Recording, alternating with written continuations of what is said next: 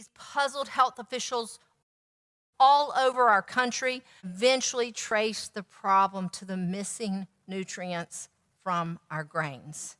They went to the millers, said, put the bran and germ back in. We've got these diseases. We got to correct this problem. But the millers said, no, we're not going to do that because that 25% of the bran and germ that they were getting from the flour, they weren't throwing it away. They were selling it to the cattle feed industry, and it is still being done today. They still sell it to the cattle industry to make cattle feed. So the bran and germ is very lucrative market for them, and they're like, we're not giving this up. Benefits to me personally were very immediate, very noticeable, very significant. Constipation was immediately gone. My energy levels went up. Frequent headaches went away. Sugar cravings greatly diminished. There were certain times of the month, and ladies know what I'm talking about. Chocolate was happening. All of this went away. I could have cared less if I had sweets because I was eating this bread, the most perfect complex carbohydrate that God gives us, the food we need for energy, and it's satisfied. So I wasn't constantly craving sugar and sweet things.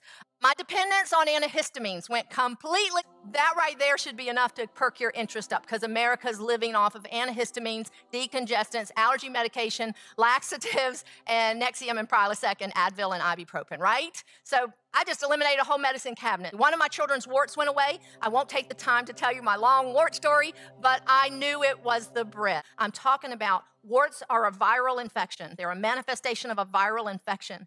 And if you do not have enough vitamin Vitamin E protects the integrity of every cell in your body. And if your cell membrane is weak, then it's uh, more likely to get in, um, be susceptible to invasion by viruses. Viruses, unlike bacteria, have to come into your cell to re- reproduce. Bacteria can reproduce on their own.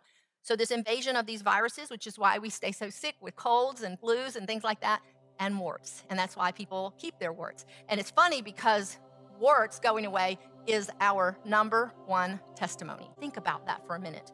If this bread can strengthen your immune system so obviously that warts will go away that quickly, think what it might be doing even if you don't have warts real bread, freshly ground whole grain flour, is the richest food source of vitamin E that God has given. I became excited as people came to me and they were saying the same thing. My constipation's gone, energy level, cholesterol's down, my kids are not getting sick anymore. I became excited because the bread was delicious. I had studied healthy eating for years and years and years, and there was many things that I would do, like green things that I would drink and all that. My children wouldn't touch it.